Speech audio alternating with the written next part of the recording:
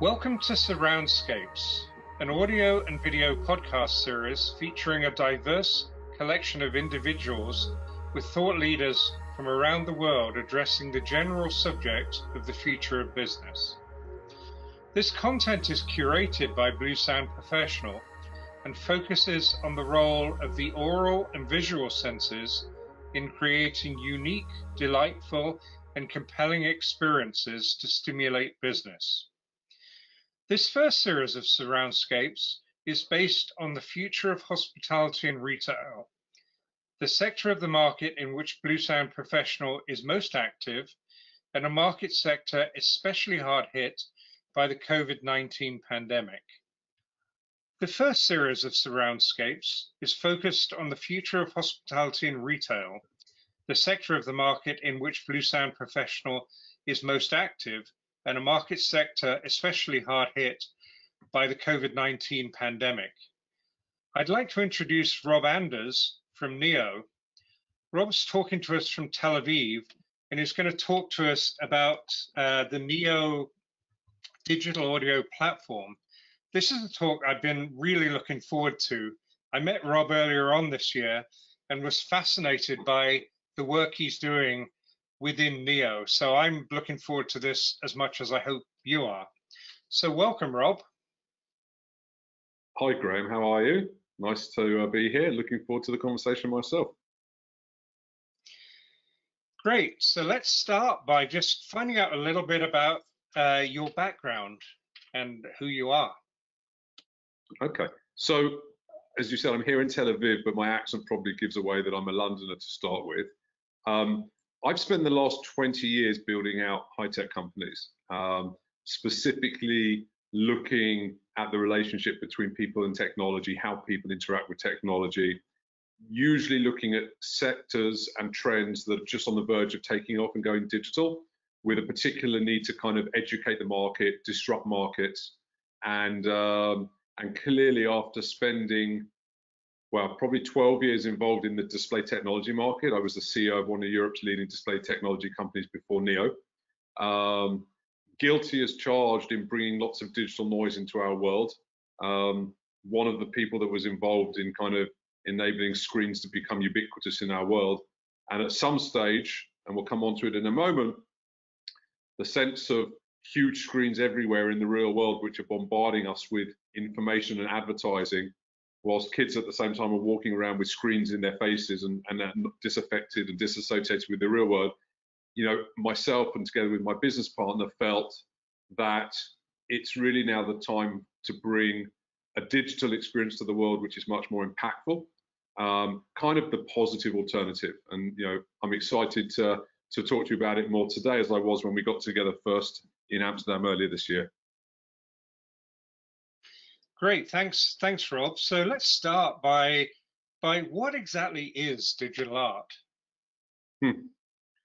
So sometimes it's easier to start by saying what it's not. Um, you know, art for a lot of people is is even intimidating. It's kind of this loaded word. Um, and when people talk digital art, they're thinking, "What you do you mean you're going to take a picture of the Mona Lisa and put it on a screen?" Because quite frankly, I, I think the majority of people don't get overly excited by that. So I like to frame it in a different way.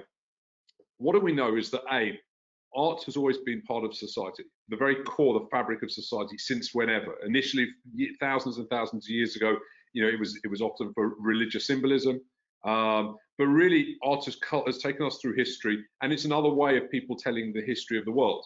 Um, in fact, one of the reasons that art collectors who spend their years um, and all their money often in not just filling their walls but continuing to buy art is because they see themselves as kind of custodians of, of culture. You know, they are owning part of history. And that's because artists do a few things. The first thing they do is they tell the story of the world we live in. The second thing they do traditionally is use any technology or any tool they have access to in order to both create and tell their story. So it goes to reason that if we look at the world today, in fact, you know, let's take a step back. Even if you look back to Leonardo da Vinci time, he would use perspective and tools, manual low-tech tools, to start working at how you define perspective and bring it into a into a painting. the reason that people have landscape paintings is because technology enabled paint to actually go into a tube and travel outside. So if you take that in mind and you think that, look, we're now pretty much at the fourth industrial revolution, we're in this digital connected world. The emerging generation of artists are the iPad generation, that there is more access today than ever before to the tools that artists can have access to to create and tell their story in a digital way. Um, it used to be a 4K camera was $10,000, $15,000. You can now shoot it on your iPhone. So you put all of this together, and when we talk about digital art, we're talking about art which was created digitally to be experienced digitally. So specifically, and I know a lot of the viewers here are kind of have that technical slant to them. We're talking about rich media, video and new media art. So anything actually from static, still digital photography or images to moving image video art, all the way through to virtual reality, augmented reality, interactive, generative. It doesn't really matter, but from Niio standpoint for digital art, we're talking about art which was created digitally to be experienced digitally. And in fact, often we refer to the fact that what was once paint on canvas is now film and code on a screen. So that's kind of a little bit of an intro in terms of in terms of digital art. And we'll show more obviously in a moment when we share the screen. Excellent. That's really useful to know. So let's go on and and talk about um, what exactly is Niio and how did it come about? So that's a fantastic question. It might be it might be easier for me to uh, to share my screen. Let's start by let's start by just telling you where it came from as a follow up to what I said earlier. Um, you know, on the one side you have art as something which is seen as quite intimidating for people you have artists around the world who we believe have a story to tell and they haven't always got the platform by which they can tell that story. And I think now more than ever, people need a moment to stop, to reflect, to ask a question, which is really what art's all about. Um, and so when you brought together my personal experience prior, which was in the world of display technology and bringing a lot of, you know, less meaningful content to the world, let's say through screens, and in my, with my business partner who is not only one of the leading product uh, experts in the country over here, but has also um, been lecturing um, at the Top Art Academy for the last 20 years and, and, has kind of seen the evolution of digital format artwork becoming more and more mainstream, but with its own challenges. A lot of this was the ideation that came behind Niio and wanting to do something impactful. But what actually is Niio? Let me share my screen and show to you. So Niio is, is is a platform. Very often, people would refer to us as a kind of like Netflix or Spotify, I guess, um, for digital art. We specifically focus ourselves on, on on being a premium supply of content to a very broad audience. What do we mean by that? So, first of all, Niio has built a community right now of around about four and a half thousand artists and galleries from over 60 countries in the world. And these are artists that really specialize in these video and new media formats of artwork alongside a lot of the traditional work. So some of these people will deal with video, but they'll also deal with painting.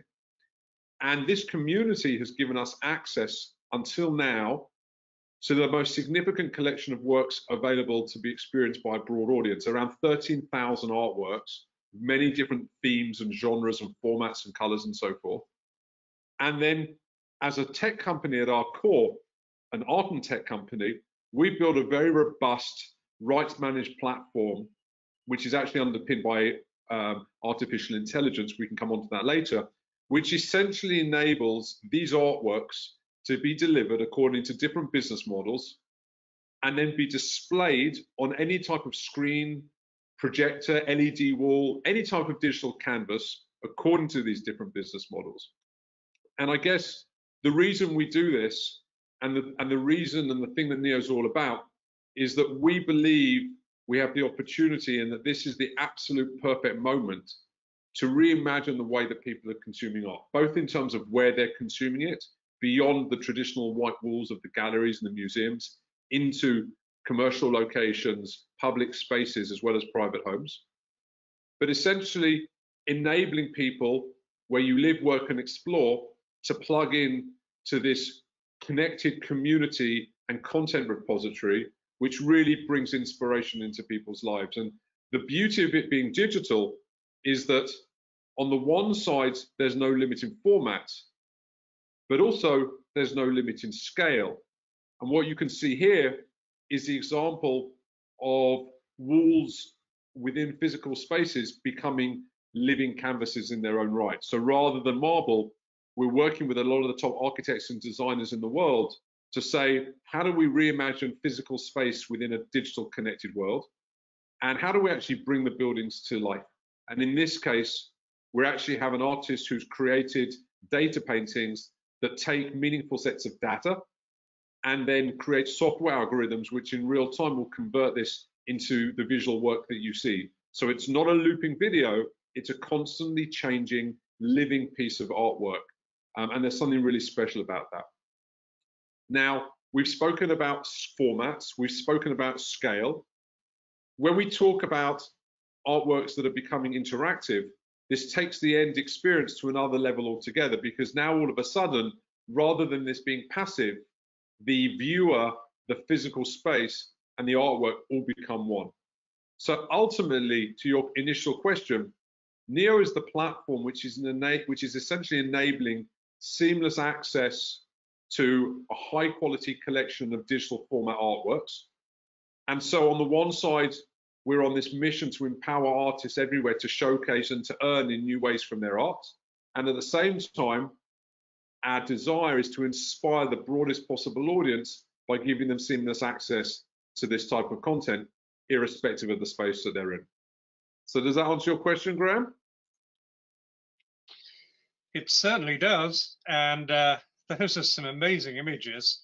So, yeah, I mean, that's remarkable. But I've seen different commercial spaces with with video art playing or videos playing. It's kind of somewhat noise almost uh, to to many of us. Um, and we see digital billboards and all this kind of thing. You know, how is it different since Niio is around? So I think that's a great question. I think there's two ways I'll answer that. The first thing is that ultimately, as with any type of content experience, the curation of the content, what the selection of the content, the right type of content. Um, I, I, don't think this is the time or the place to go down the rabbit hole of what's art and what's not art, but certainly a, a carefully curated collection of, of art, which on the one side comes from an artist, you know, and, and in Niio's case, we're really working with the, the creme de la creme.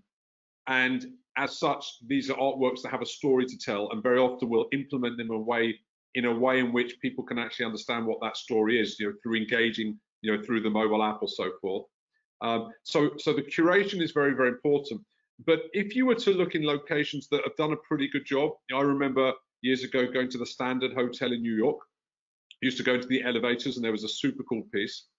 The challenge was that the end result was desirable, but that in practice, actually getting the work, implementing the work, was a lot of heavy lifting. You know, the designers and the architects are scared of technology. Um, you know, they would have to go and find the artwork from a gallery, do a deal, then find an IT infrastructure to support it. And quite frankly, by the time all of it was done, it, it was good, but the heavy lifting was such that it then pretty much stays the same for years. And, and, and if there's a technical problem, it's it's a nightmare. So there was a lot of heavy lifting. It reminds me back, you know, I think you know you guys being being so audio focused when digital music started, and we always had some early adopters who kind of would know how to rip rip a torrent and then burn it onto an MP3 player. But the moment something became as quick and easy and accessible as iTunes, you know, the click of a button, even if now you're paying for it, it just opened up the opportunity. So what we say is that with Niio, the approach we've taken in terms of building an ecosystem with all the rights management, managed content there, the technology to deliver it, but actually, and this is also relevant to your audience, will come on to this, the partners that actually sit in that ecosystem, including the architects, including the designers, including the AV integrators and so forth. So if you are the end user or the architect and designer who's often the end influencer to the user, we take away a lot of that heavy lifting and enable this to be quite easily implemented, number one, as a starting point. And the final thing is that the nature of the platform, you know, when we see digital as humans, we kind of expect it to change. So you can put a painting above your wall and it's there for 20 years, or in the case of hotels, they'll put something up there for a seven years before renovation cycle, and no one really thinks about it. But as humans, we're so used to digital changing.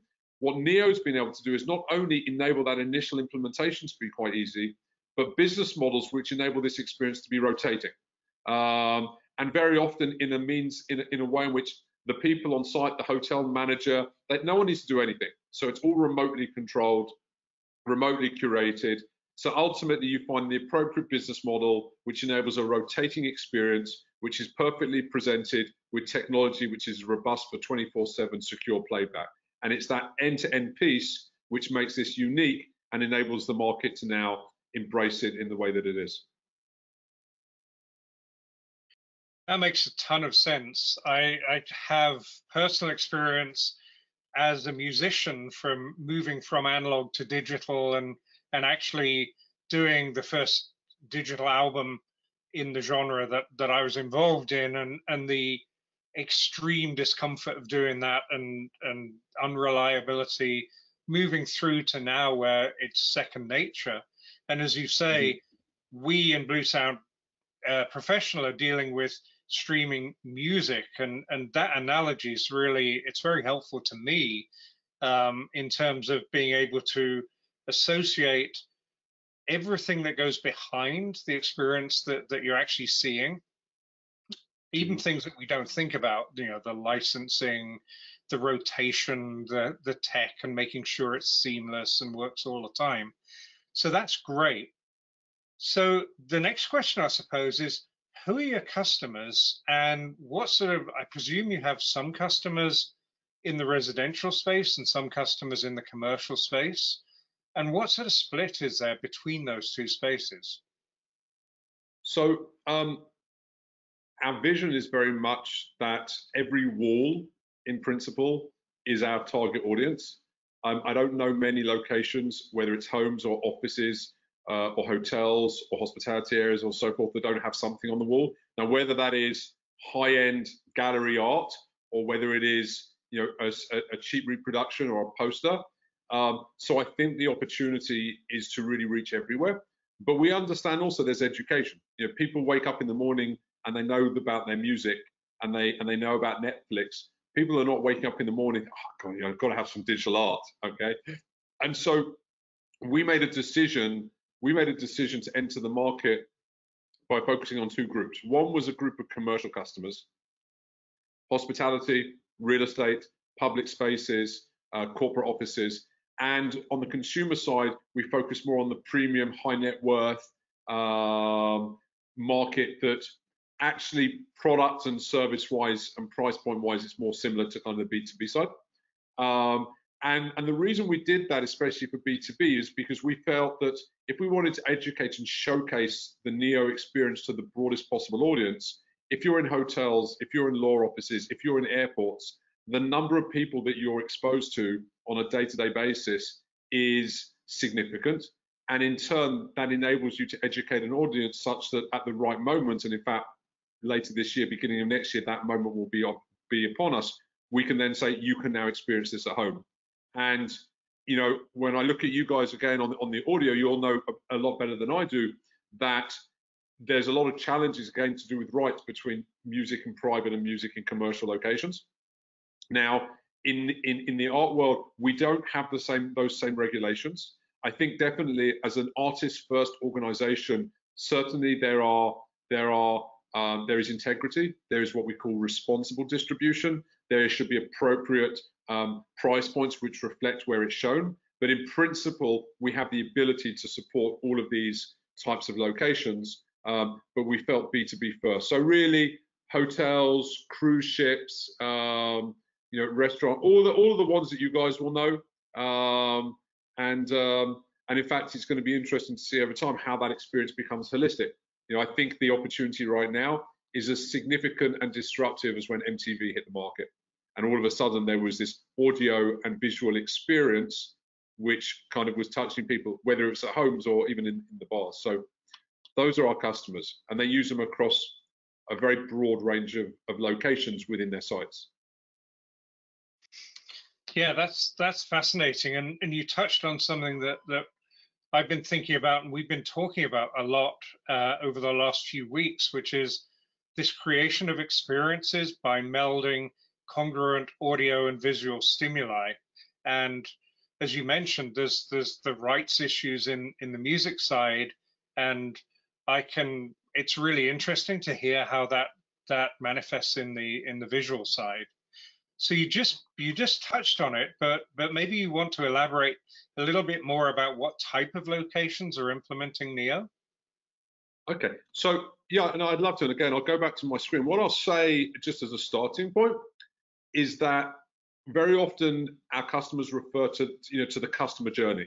You know, how do we engage with them and give them that wow experience at every stop along the way? Now, we know that in real estate they're driven by dollar per square foot. We know in the hospitality at the end of the day, it's, you know, it's it's a calculation dollar per you know occupancy and dollar per room. But there's also this understanding that you need to provide an experience which in turn influences that price point. And they very often look at the customer journey from if you think about it, before you even book a hotel, like the online experience, the website, through to arriving at the property, going through their location from you know the outside of their of their of their property all the way through to all the way through to the rooms. So with Niio, we're working alongside that same journey, um, and that can relate and start with what we call projection mapping, which is where we actually turn the entire exterior of a building into that canvas using projectors. Very often, for example, when these are launch events happening for some of our customers, this can be walking then on a smaller scale into the outdoors of hotels where within their gardens and their grounds, we're projecting onto the sides of the walls. I'll come on to that in a moment. This is one example of uh, Victoria Harbour in Hong Kong, LED hanging down walls. About 5 million people saw this with a, a selection of moving image artworks inspiring people across the bay. As I mentioned earlier, in the hotel grounds, the idea of projections on the side of a wall. In the lobbies now of the building, once we go in, these can again be projections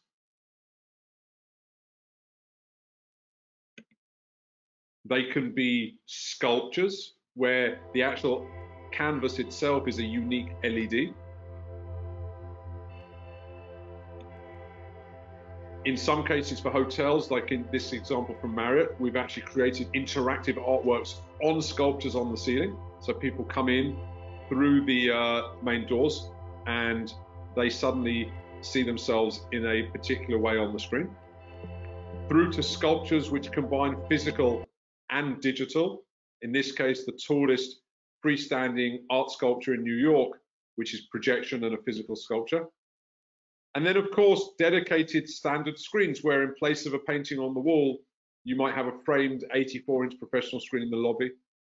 In meeting rooms, we are ridding the world of black screens when they're not being used. So in that case, the Niio solution enables you to have constant art playing on the screen until someone needs the screen to show a presentation. And there's a very easy um, solution which enables this to be a dummy free, so no one needs to get the remote control and change it. And we continue into spas and wellness areas, bringing this kind of meditative almost collection of works to kind of calm and soothe people. F&B areas, um, bars, restaurants, anywhere where there's a captive audience, that includes by the elevators when people are waiting for an elevator, screens which are placed um, in unique locations within the bar so they don't look like a screen. It's like something just resting on the windowsill in this case of a very high-end bar.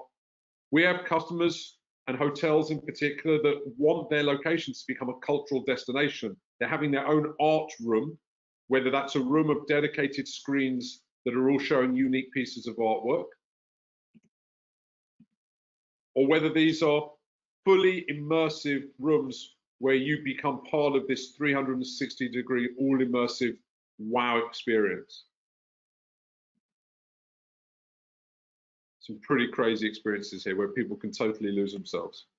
So that probably shows you a very broad example or a broad series of how Niio can be applied anywhere from the public areas, across outside, inside, and what I didn't even show there is very often now we're going into the rooms, and some hotels now, the TV is now the only art in the room, and it's always showing art unless you're using the TV.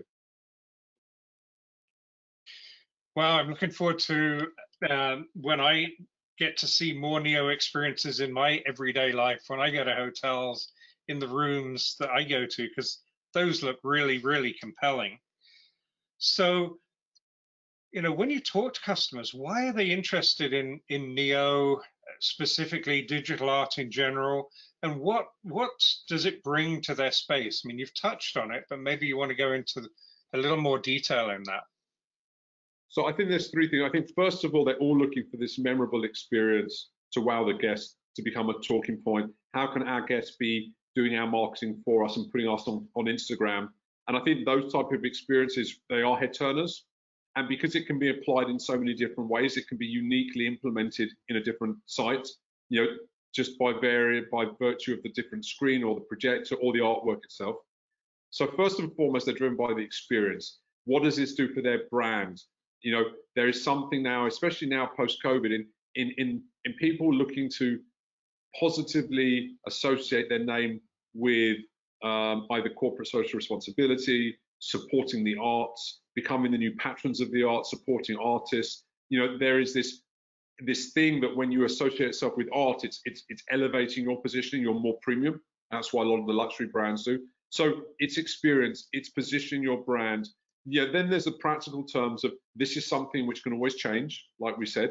You know, very often we look at and we ask our customers how much are you spending on flowers, because very often flowers is one of the only recurring revenues and the only something, the only rotating experience. And some some hotels will spend thousands and thousands of dollars a month.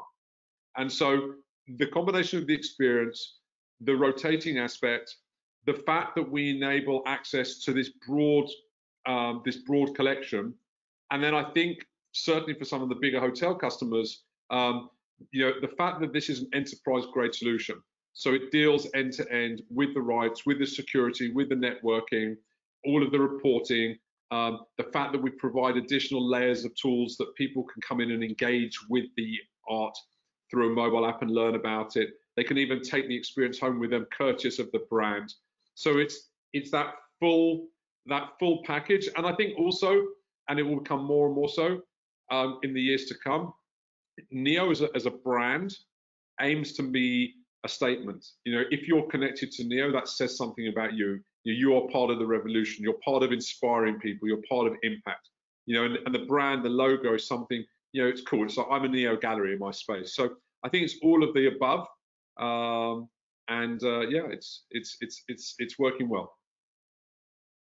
That's fascinating, and and um, that, that that end bit about creating this this kind of community of patrons, forward-looking patrons, is is is a really fascinating thing that I hadn't even really thought about. Um, but what I'm going to do now is turn it back a little bit to our audience, who are often very techy uh, AV integrators, and ask a more specific hardware question, which is, do you need specific hardware for this? So, um, you know, let's come back to that statement I said earlier we believe that the key here is enabling this experience to be seamlessly accessible. And part of that means that you must be able to play it on any type of screen or device. So the way that we built the player aspect, I guess a little bit similar to kind of some of the thinkings behind digital signage in terms of a 24/7 robust platform, means that we can be used on any type of display device, either with an external player, which is an industrial grade player, or um, through integrating our software directly onto the professional screens. Um, so, and, and what we've done is gone out and built actually those strategic partnerships with the biggest display companies in the world. Like our closest partner is probably Samsung, um, and we're working with them on a global level, which means that not only will there be a, a very neat integration out of the box with all the Samsung professional screens, and the same, by the way, goes with Barco for projection and so forth. Um, but we also can leverage their, where necessary, their channel to provide local service supply and support is, uh, is, is, is, accessible. And I would I would assume, and I think this is where it's exciting, is that a lot of your channel, those AV integrators, for example, probably sit in the same world. So I think a lot of them have access through Niio to, on the one side, use hardware that they might already be using with or, or, or other hardware, and and you know later we can talk about how they can actually benefit from a business perspective as well. But accessibility on any hardware is key. Great, great. That's that brings it kind of into more real world um, AV integrator kind of uh, thinking. And so, um, does Niio as a company sell any hardware or is it just a service? Can you explain your revenue models and how it all works? So, so, so broadly speaking, no, we're, we're not a hardware company. We don't want to, and we realise, and I certainly, after all the years, know that the reason they call it a hardware business is because it's hard. Uh, um, you know, I think from us, whilst we do have a player, which is something to, that in most cases we we almost pre-issue. We don't look at that as a revenue stream. Um, you know, we look to earn from our from our from our content service, which is the combination of that software and and, and the and the content. So in most cases, the customers either they have a screen or through the integrator will provide them with a screen. You know, we'll make our recommendation. And if I'm looking at the commercial spaces, um, you know, the price points for a rotating collection of work can start from around about $200 a month for a screen. Um, and then when you go up in quantity, that price comes down. Obviously, when you're up in the rooms, you're talking about anywhere between one and two dollars a month for the rooms. And then if you're talking about someone having a huge, some of the examples I showed you, you know, huge video walls in the in the lobbies, in the public areas, in the shopping malls, you know, then then you're talking about thousands of dollars a month if you want to have access to one of these rotating services. Uh, in fact, for some of those very large customers, we will often actually have the artworks through our community created for them and then licensed to them on a on a kind of annual basis. Um, so it's a pretty broad spread depending on um, the type of content approach that they're looking for um, and the type of location that they'll be playing it in. Okay, that makes that makes sense.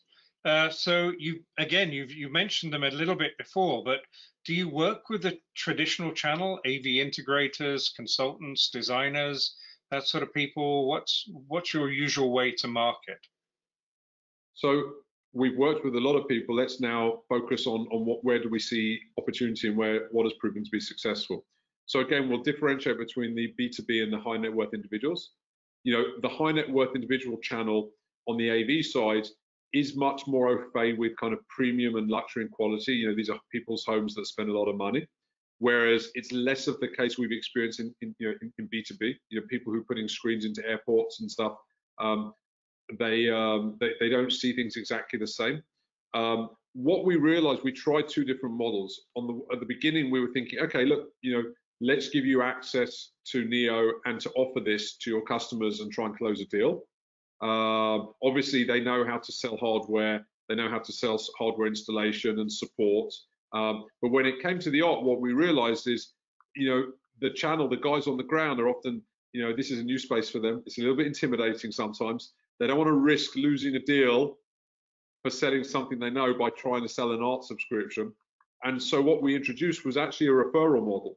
And so in that referral model, what we found is that they focus on their hardware, um, and when it comes to the art, they literally just, if, if they sniff an opportunity that someone might be interested and we provide them with materials and they have a referral agreement, they will then basically pass that opportunity to our team and, and our team will go in and close and close the deal.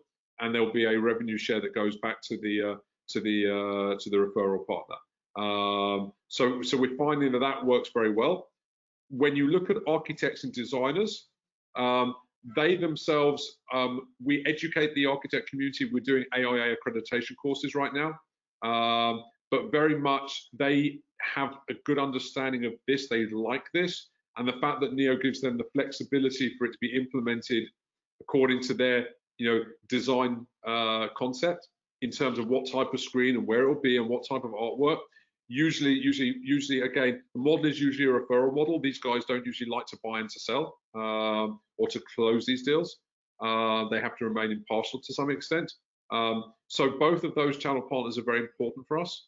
You know as are the strategic relationships with the manufacturers. And we believe that once that channel gets over the understanding, they get over the, oh, well, we've always worked as a, you know, we get 25 points on reselling, buying and selling. Once they're open to that, and we do know that a lot of them are kind of this, there's this sacred dream of the golden goose of the recurring revenue model. Um, you know, once they get it and they understand it, then uh, then then then it works very well. So so I think there's a lot of channel opportunity. And and again, if you think about guys that are out there selling into hospitality, um, a lot of them, and I would, you know, we could do a survey. I, I, bet you that there's no shortage of people, either customers or channel partners, watching this video that are thinking, oh, I was, I, I installed at this place last week, and I know they put in a big video wall, and this would be great for them. You know, this is an opportunity. So, so, so channel for us and, and strategic partnerships is all part of that ecosystem, and it's very important for us. That's great. Yeah, you you've touched on a few things that over the years in in the industry I've seen, which is people having trouble, particularly in the AV integration community, monetizing content and software and recurring revenue, even though they really want to. So this idea of, of a referral uh, program sounds sounds perfect because they can do what they're best at, which is putting in the gear, and then they can pass it over to you and your guys who can make that gear really delightful and make the experience wonderful. And as as you say, if if people get real benefit out of the AV hardware they're installing, it makes them want to install bigger, better systems in future because they get to see them perform in the way they're supposed to perform, rather than just rather than just kind of having some lackluster images, static images on it uh, when it's not being used.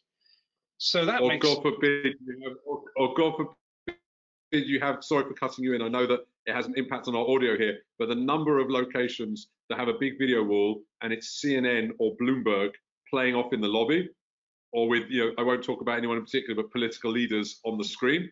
Okay, um, and they've spent a million dollars on an on an LED wall. So you know, it can so easily turn into something which really blows people away.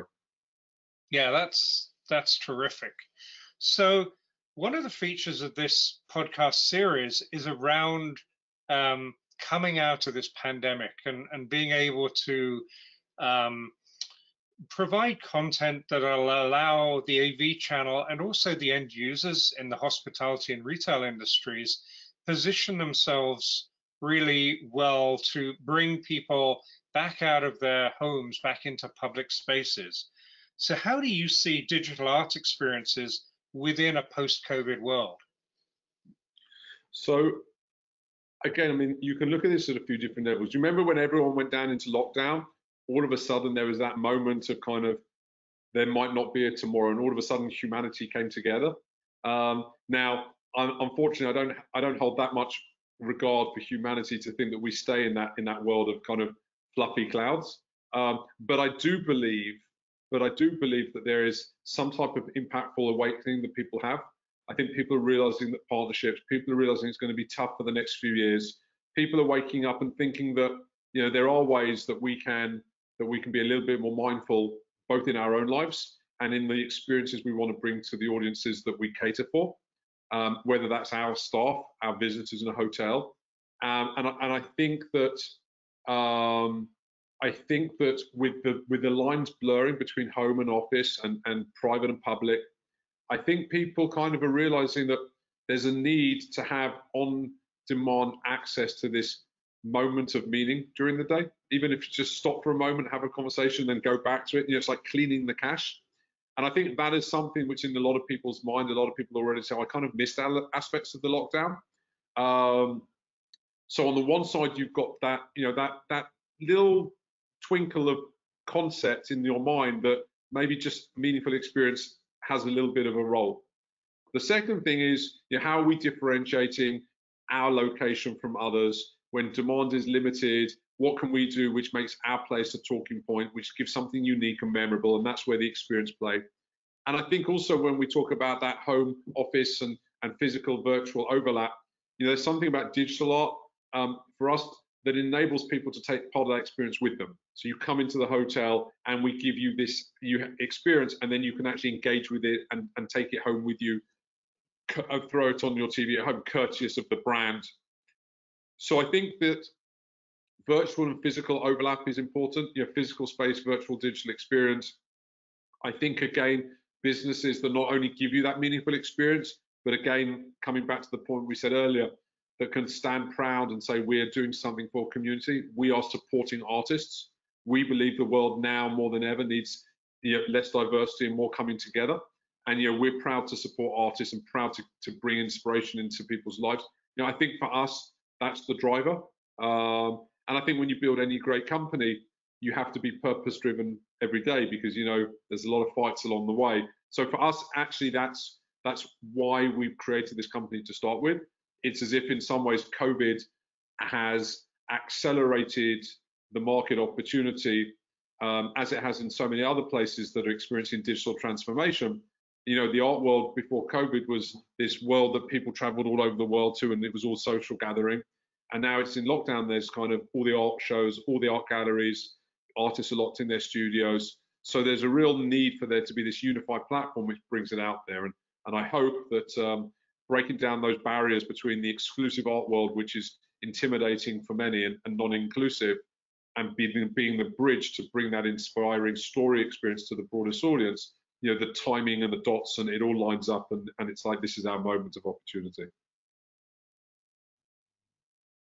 Excellent. So you touched on a number of things there that that um, that are kind of hot buttons, I suppose, for me. One of them is this acceleration of trends that are already there. Um, we're seeing it obviously with people having to do business online, having to, to buy stuff online, having to have meals delivered rather than going out to restaurants. And so that was a trend that was happening anyway, that, that trend from physical brick and mortar to more online. And as we come out of this, people now, even some people that haven't ever done that before, have had to do it now. And so that trend has been accelerated.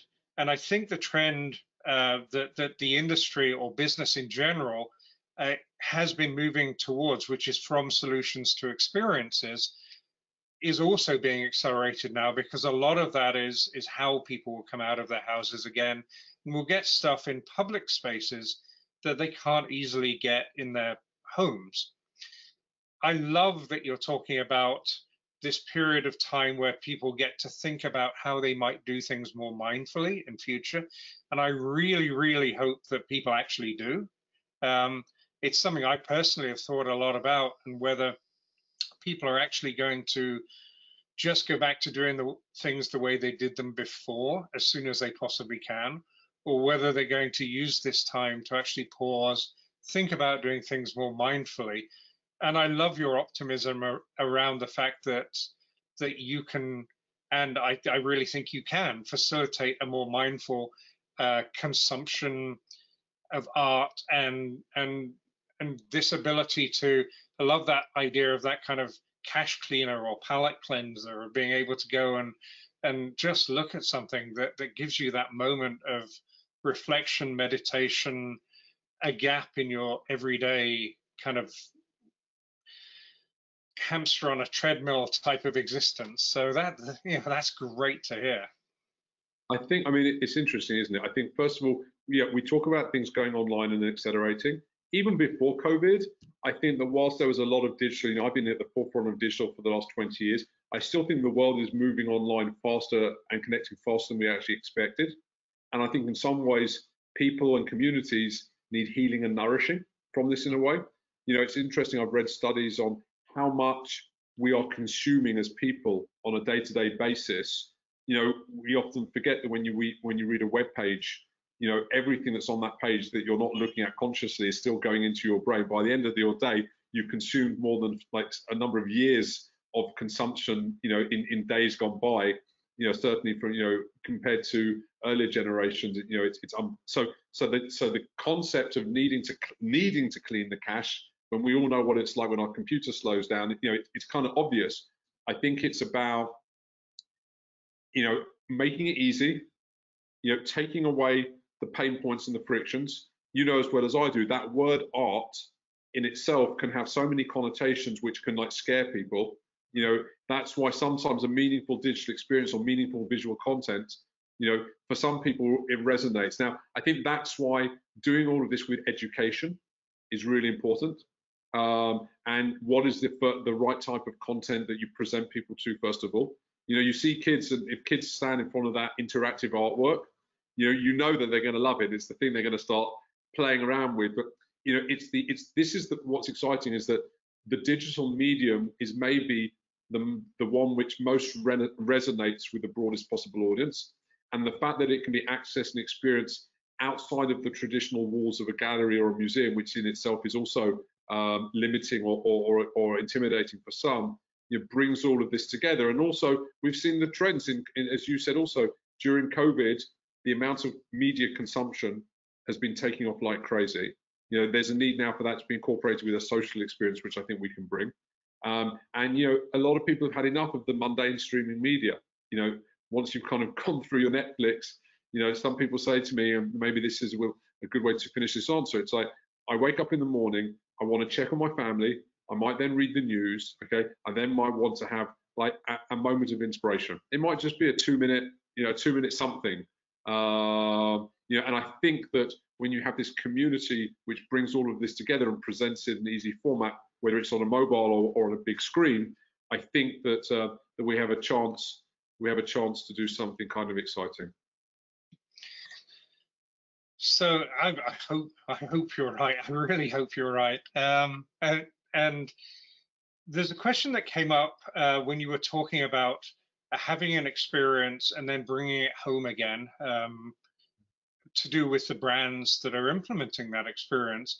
And a question came into my mind there that I'm sure is something that that you're dealing with, which is how do you how do you strike a balance between art and and an unencumbered digital image um, or experience and branding? So do you find that that your customers are wanting to to put branding in, or how do they build their their own identity into the experience? So, you know, one of the things we've needed to deal with from day one is context and format. How do you create a context which is presenting this sacred art form and giving it its its moment um, and not abusing it by integrating with advertising or this, that, and the other. So, so, so I think context is key. Um, I think understanding format, you know, it's a different context when you see a screen in the lobby of a hotel to in a gallery. So we have to be very mindful and creative the way the art is presented, you know, the, the black screen before the artwork is shown, which presents the name of the artwork and the artist is important. You know, we do have ways to interact with um, commercial brands. For example, brands are often the sponsors. So, you know, you go to the major art fairs, there's a difference between showing an ad and being the sponsor of a premium art experience. So you're not touching that art experience, you're associating your brand with it and saying, I'm I, I'm bringing this experience to you, courteous of. Um, so so that's important. Um, and then again, I think every aspect of that journey, you know, I can I can even show you something else here, which which um, is interesting. So this is an example whereby someone, for example, can go into the lobby of a the lobby of a hotel and see this beautiful piece on the screen. Okay, they have the ability to go into the mobile app and um, and and understand what that work is, and then once they interact with it, you can see experience on home. So it's courteous of Hilton. So here you can see that you've got the art, then you're giving you're giving someone access to this art experience courteous of the brand. They download the app, go home, they can cast it onto their screen at home. Mm. It changes. Wow. You then bring in the ability to have you know all of this social aspect, so you can share it, which then always is responsibly showing the artist names. And then from the brand, you have the opportunity to then present back, you know, this is what marketing, this is all the business intelligence that across number of these number of screens in a hotel, these ones were scanned, these ones were taken home, and these ones were shared with. So you're able to actually bring it all together and combine the things that are important for a brand in terms of their positioning, the things that are important for a corporate organization in terms of you know, intelligence, and things that are important for the artist and the art to maintain the integrity of the artwork. I'm glad I asked that question because I was unaware of that whole back end that, that I think is really uh, an important point to bring out. So we've been talking for, for quite a while now, and we probably should wrap it up. But I really want okay. to to um, to give to to ask you how people get in contact with you because this is great stuff. I can imagine everyone wants to to at least look into it. Well, we'll put to the side the background that we'll we'll look at doing something together because I think there's an opportunity to, to, to go to market with some stuff together. But you know, niio.com, www.niio.com. Um, I think that uh, I'm proud to say it shouldn't be too difficult to find us, and and anyone that engages through the site uh, will be responded to by our team um, across the US or Asia um, or in Europe, and uh, and we'll look forward to exploring any opportunities. Brilliant. Thanks so much, Rob. So that's Rob Anders from Niio, And I really believe that, that this is transformational. And it's, for me, been a, a really fascinating Surroundscapes episode. I hope you enjoyed it too. Uh, we'll also be doing an audio podcast version of this. So you can listen to the audio bit, obviously with a, a video based initiative like Niio, that may be less of a wonderful experience than some, but it'll be there. And uh, please come back for more of these Surroundscape episodes. So thanks very much.